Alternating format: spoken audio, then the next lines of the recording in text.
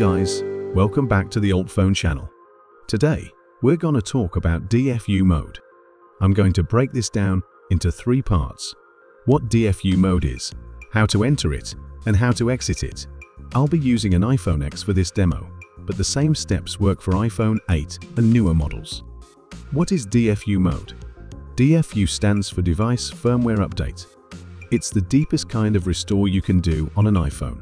Basically, it reloads every single line of code and puts your iPhone back to factory fresh condition. But here's the catch.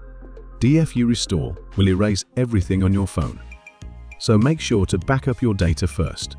You can use iCloud or iTunes, but honestly, I recommend UltFone because it's way faster and just one click.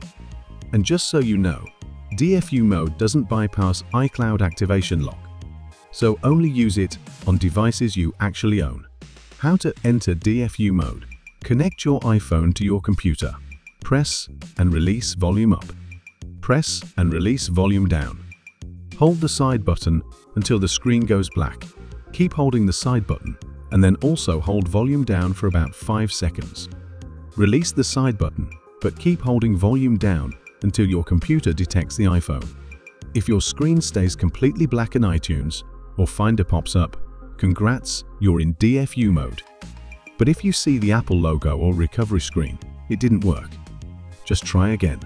Once your computer detects the device, click Restore iPhone and wait for the process to finish. How to exit DFU mode. Don't want to restore? No problem.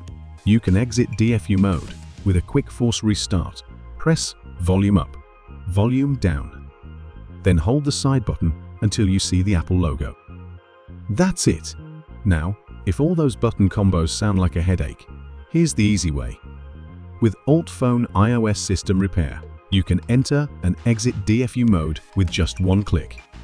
It's super beginner friendly, and besides DFU, it can also help you back up your phone and even transfer data to another device. I've dropped the download link in the description. Go check it out. That's all for today. If this video helped you, give it a thumbs up and don't forget to subscribe for more iOS tips and fixes. See you next time.